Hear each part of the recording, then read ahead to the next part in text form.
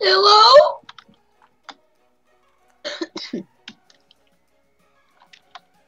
Look, man, I'm sorry for being away for so long. Help me.